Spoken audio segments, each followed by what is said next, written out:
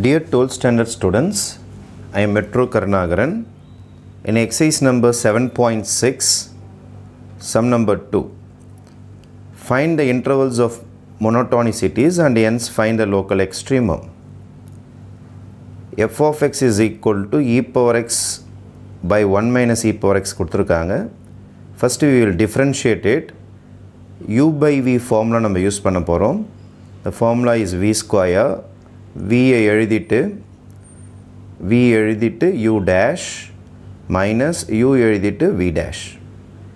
அப்போது applying the formula வினா one minus e power x whole square v e one minus e power x எழுதிட்டு you dash E power எக்ஸை differentiate பண்ணால் இ power X minus போட்டாச்சு.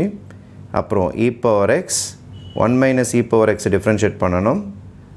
ஒன்னை differentiate பண்ணால் zero minus இ power எக்ஸை differentiate பண்ணால் e power x e power எக்ஸால் ஃபுல்லாக multiply பண்ணுவோம் one into e power x is e power x e power x minus e power x into e power x is e power two x base சேமாக இருந்தால் power add பண்ணிக்கணும் அப்புறம் minus e power x into minus e power x plus e power two x இப்போ ப்ளஸ்ஸும் மைனஸும் cancel ஆகிடுச்சுன்னா e power x by one minus e power x ஒரு square இதில் most important thing is e power x e power x multiply பண்ணும்பொழுது base பத்திரம் base சேமாக இருந்தால் power கூட்டிக்கும்.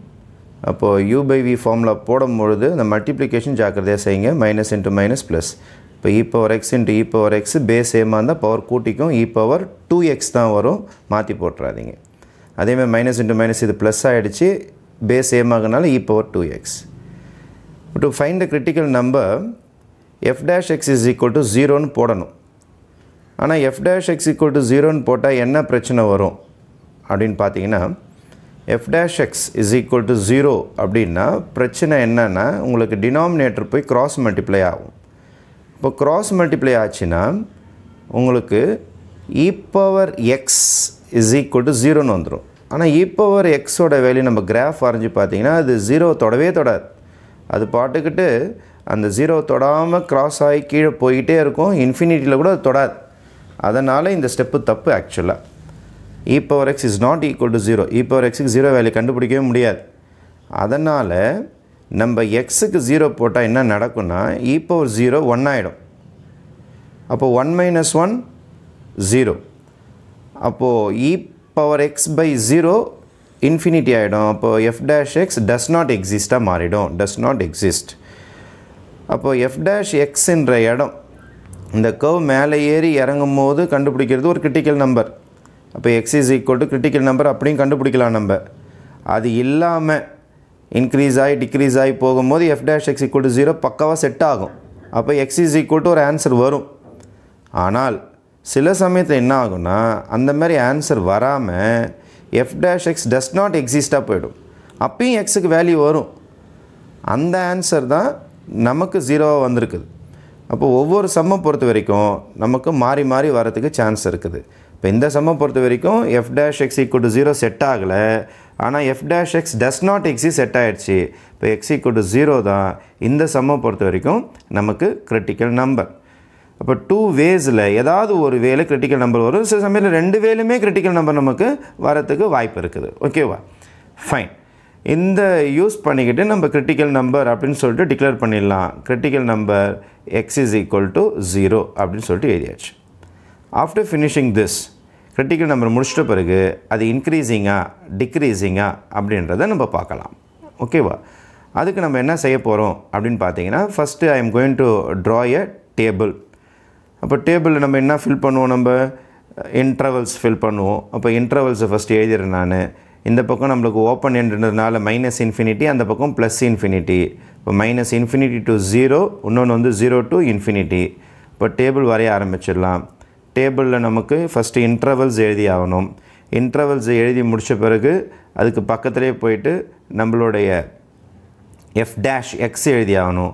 F dash எக்ஸ்னால் e power x by one minus e power x whole square நம்ம எழுதியாகணும். எழுதியாச்சு. Next இன்க்ரீஸிங்காக டிக்ரீஸிங்கான்னு சொல்லிட்டு எழுதியாகணும். அதுதான் nature of the curve increasing or டிக்ரீஸிங்ன்றதை நம்ம எழுதியாகணும். ஆஃப்டர் ஃபினிஷிங் திஸ் நம்மளோட இன்டர்வல்ஸ் எழுதுவோம். First interval is minus infinity comma zero அந்த இன்டர்வல் தான் நம்ம ஸ்டார்ட் பண்ண போகிறோம் மைனஸ் இன்ஃபினிட்டி கமா ஜீரோ அதுக்கு அடுத்தது ஜீரோ கமா இன்ஃபினிட்டி இப்போது ஜீரோ கம்மா மைனஸ் இன்ஃபினிட்டிக்கு பக்கத்தில் ஒரு வேல்யூ ஏதாவது ஒன்று நம்ம சூஸ் பண்ணி ஆகணும். For example zero comma minus infinity பக்கத்தில் மைனஸ் ஒன் இருக்குது. மைனஸ் ஒன் சூஸ் பண்ணலாம். அப்போது e power x e power minus எக்ஸோடைய graph எப்படி போய் டேர்ன் ஆக போகுது? மேலே ஏறி இறங்க போதா? அல்லது கீழே இருந்து போயிட்டு மேலே வரப்போதா இல்லை மேலேருந்து கீழே வரப்போதா எந்த ஐடியா நமக்கு தெரியாது. நம்ம நிறைய சான்ஸ் எடுத்துக்கலாம். கீழே போய் மேலே வர மாதிரியோ அல்லது மேலே ஏறி கீழே வர மாதிரியோ நிறையா சான்ஸ் இருக்குது எக்ஸ் ஈக்குவல் டு ஜீரோவில் ஆனால் இந்த சம்மில் எப்படி இருக்குன்னு நமக்கு தெரியாது. நம்ம இந்த டேபிள் போட்டு முடித்தாதான் இது மேலேருந்து கீழே ஏறி இறங்குதா கீழேருந்து மேலே ஏறி இறங்குதா இல்லை மேலேயே போயிடுதா அல்லது கீழேயே இறங்கி வருதா அப்படின்னு நாலு கேஸுமே நம்மளால் கண்டுபிடிக்க முடியும். அந்த நாலு கேஸுமே நமக்கு தெரியாது என்னன்னு சொல்லிட்டு.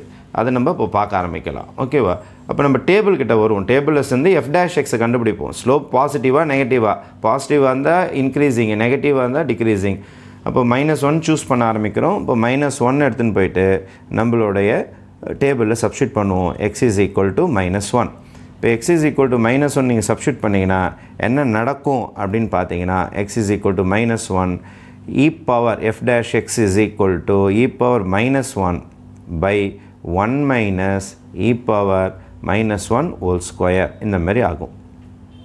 பட் இ பவர் மைனஸ் ஒன்னுடைய ஆன்சர் என்னது இ பவர் மைனஸ் ஒன்னோட answer zero point three seven அப்ராக்சிமேட்டாக த்ரீன்னு கூட எடுத்துங்களேன். த்ரீன்ற வேல்யூ கூட நீங்கள் எடுத்துகிட்டு வந்து இதில் சப்ஸ்டியூட் பண்ணி பாருங்கள் மேலே சப்ஸ்டியூட் பண்ணிங்கன்னா ஜீரோ பாயிண்ட் த்ரீ கீழே one minus zero point three zero point seven அப்போ பாசிட்டிவ் பை பாசிட்டிவ் வந்தால் உங்களுக்கு பாசிட்டிவ் வேல்யூ தான் வரும்.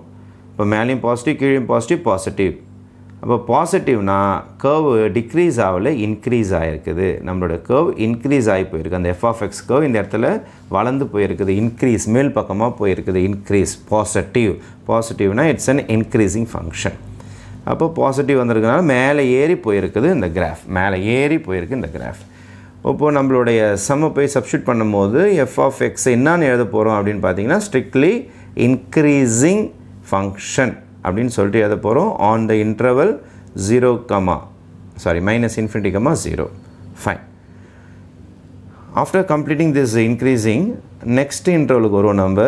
ஜீரோ கமா இன்ஃபினிட்டி இப்போ ஜீரோ கமா இன்ஃபினிட்டியில் நம்ம ஏதாவது ஒரு வேல்யூ எடுப்போம். இந்தாண்ட சைடுன்றதுனால பாசிட்டிவ் சைடில் ஒன் எடுத்துக்கலாமா? அப்போ ஒன் எடுத்துக்கிட்டு x is equal to one again இது எடுத்துன்னு வந்து நம்ம என்ன செய்யணும்னா சப்ஸ்டியூட் பண்ண போகிறோம் எதில்? எஃப் டேஷ் எக்ஸில் சப்ஸ்டியூட் பண்ண போகிறோம் இப்போ f dash x is equal to e power ஒன்று by one minus e power one whole square what is e power one ஆக்சுவலாக இ பவர் ஒன்னோட வேல்யூ பார்த்தீங்கன்னா டூ பாயிண்ட் செவன் அப்போ மேலே உங்களுக்கு டூ பாயிண்ட் செவன் சப்ஸ்டியூட் பண்ணி ஆகணும். கீழே one minus two point seven அப்போ மைனஸ் ஒன் பாயிண்ட்டு அப்போ மைனஸ் ஹோல் ஸ்கொயர் பண்ணால் பாசிட்டிவ் ஆகிடும் ஏன்னா ஹோல் ஸ்கொயர் பண்ணால் பாசிட்டிவ் தானே உங்களுக்கு? அப்போ positive by positive becomes a positive again positive தான் வந்திருக்குது. திருப்பியும் எஃப் ஆஃப் எக்ஸ் பார்த்தீங்கன்னா ஸ்ட்ரிக்ட்லி இன்க்ரீஸிங் எதில்? ஜீரோ டு இன்ஃபினிட்டி இப்போ ஜீரோ டு இன்ஃபினிட்டிலையும் இது திருப்பியும் உங்களுக்கு இன்க்ரீஸ் ஆகிட்டு போய்கிட்டே இருக்குது. ஆகவே நம்ம இறங்குன்னு பார்த்தோம். எக்ஸ் ஈக்குவல் டு ஜீரோக்கு நேராக ஆனால் அது இறங்காமல் என்ன ஆகுதுன்னா சில சமயத்தில் அப்படியே கூட மேலே போயிடுது. அப்போ ஜீரோ பாயிண்டில் நம்ம செக் பண்ணுறோம் கிரிட்டிக்கல் நம்பர்ன்றதுனால அந்த இடத்துல சேஞ்ச் இருக்கும்னு நினச்சோம். ஆனால் சில சமயத்துலேயே சேஞ்சே இல்லாமையும் போகும். அப்போது இறங்காத ஒரு கிராஃபு இந்த இடத்துல என்ன ஆகுதுன்னா அது பாட்டுக்கிட்டு அப்படியே மேலேயே போயிடுது. அப்போ இன்க்ரீஸே ஆகினே போகுது. மேல் பக்கமாகவே போயிடுது. ஏன்னா பாசிட்டிவ் ஸ்லோப் பாசிட்டிவ் ஸ்லோப்னால் உங்களுக்கு மேல் பக்கமாகவே போயிடுது. இறங்கவே இல்லை. அதனால் இந்த சம் பார்த்தீங்கன்னா சேஞ்ச் ஆகலை. நேச்சர் சேஞ்சே ஆகலை. நேச்சர் சேஞ்சே ஆக மாட்டுது அப்படின்னா என்ன அர்த்தம்? அப்படின்னா லோக்கல் மேக்ஸிமாவோ மினிமாவோ லோக்கல் எக்ஸ்ட்ரீமம்ஸ் கண்டுபிடிக்க முடியாது. லோக்கல் எக்ஸ்ட்ரீமம்ஸ் கண்டுபிடிக்க முடியாது என்றதை நம்ம டிக்ளேர் பண்ணி ஆகணும். ஏன்னா அந்த கிரிட்டிக்கல் நம்பரில் ரெண்டு நேச்சர் வரணும். ஒன்று இப்போ இன்க்ரீஸ்லேருந்து டிக்ரீஸ் ஆகணும். இல்லை டிக்ரீஸ்லேருந்து இன்க்ரீஸ் ஆகணும். ஏதாவது ஒன்று நடந்திருக்கணும். ஆனால் எதுவுமே நடக்கலைன்னும் போது நம்மளுக்கு லோக்கல் எக்ஸ்ட்ரீமம்ஸ் கண்டுபிடிக்க முடியாது.